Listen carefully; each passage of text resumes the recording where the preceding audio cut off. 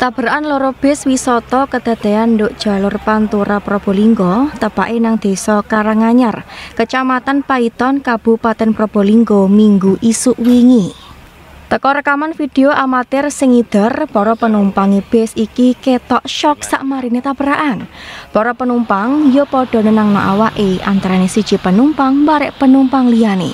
Sauntara wong pitu penumpang kudu diplayokno nduk rumah sakit sing cidhek polai catu nemen.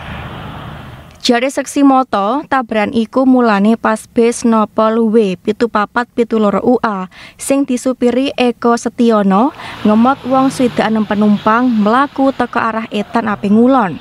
Lapas tuto enggon kedadean bis nyacak nyalip kendaraan nduk ngarepe. Sauntara teko arah papakan mecungul bis wisata nopol B pitu papat siji wolu FGA sing disupiri Sony. La polae jere kecidaan tabrakan gak iso diolesi. Glujure kendaraan puru mandek sak marine nabrak truk parkir nduk pundak dalan. Vita salah siji penumpang bis wisata njlentrekno bis sing ditumpaki ape balik nang Surabaya teko Prayan nduk Bali. DE yo ket sadar lek bisa tabrakan sak marine ngrasakno ban retubrukan sampai nggarakno penumpange kebanting.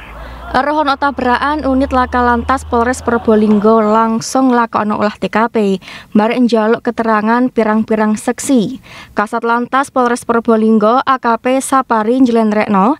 Warga dijaluk luweh hati-hati barek waspada. Pas ngelakoni perayaan Natal ambek tahun anyar.